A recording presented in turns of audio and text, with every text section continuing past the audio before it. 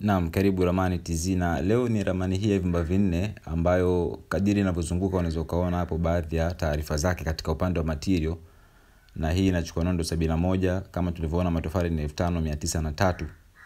Ni ramani ambayo muda si mrefu tutaingia katika mpangilio wake kwa ajili ya kuangalia ndani namna vitu vilivyopangika. Ramani ukihitajia tupigie kupitia namba zetu za 0679253640 na kama ndio mara kwa kwanza kutembelea chaneli hii ya Ramani TZ, basi usisahau kulike video hii na kusubscribe chaneli hii.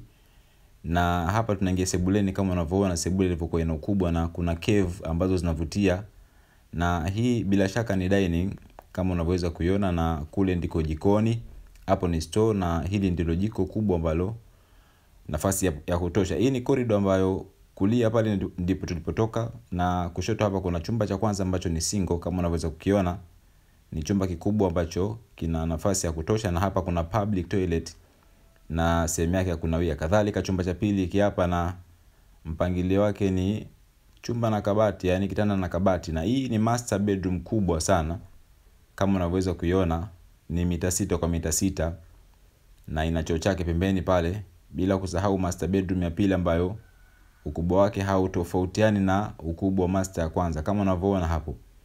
Ehe, huo ndo mpangilio wake kwa ndani. Mimi mpaka kufikia hapa nitakuwa sina la ziada. Nikukumbushe kulike video hii na kusubscribe channel hii kwa mahitaji yake. Ramani hii tupigie kupitia 0679253640. Karibuni sana Ramani TZ.